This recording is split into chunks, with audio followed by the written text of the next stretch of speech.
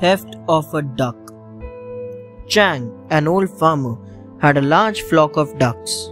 Once his neighbor Lin stole one of the ducks from Chang's farm and ate it for supper.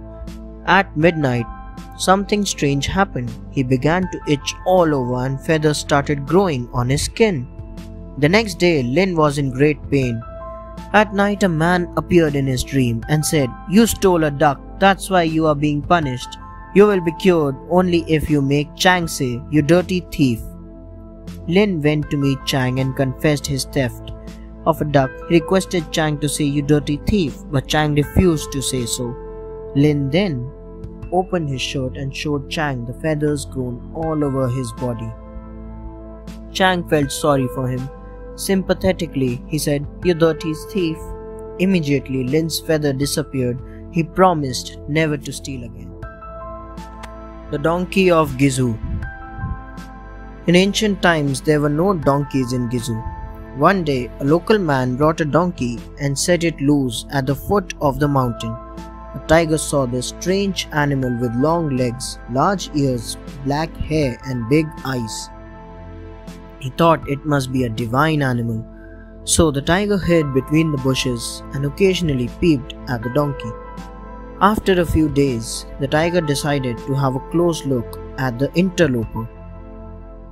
But suddenly the donkey brayed and the tiger ran away as fast as he could.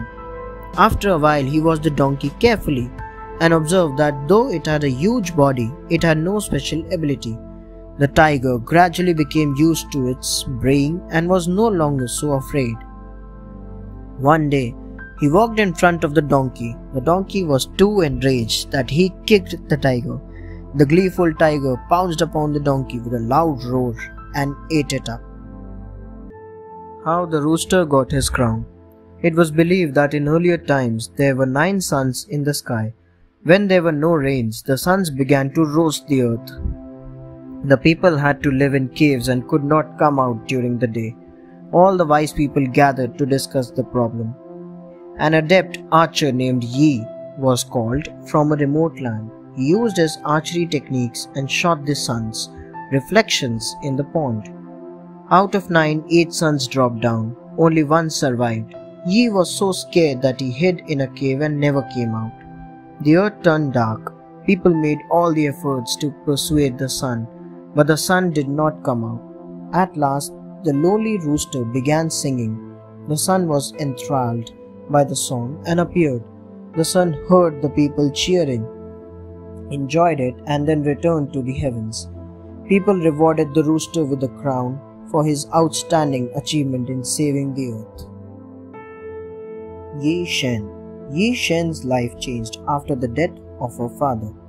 Her stepmother and stepsister treated her badly. Yi Shen's only friend was a beautiful fish with golden eyes. Her stepmother could not see her happy, and one day she cooked the fish for dinner. A sad Yi Shen took the fish bones and kept them in a little jar. One day, her stepmother and stepsister went for the spring festival. Alone, Yi Shen talked to the fish bones and expressed her desire to go to the festival. Suddenly, a beautiful gown and tiny golden slippers appeared out of the jar. Yi Shen looked beautiful and grabbed all the attention at the festival. After the party, she ran and one of her golden slippers fell. The tiny golden slipper was passed on to the king. He sent people to search for the owner of the tiny golden slipper and finally found Yi Shen. The king was fascinated by her beauty and married her. Thanks for watching. Do like, share, Subscribe to Sawan Book House.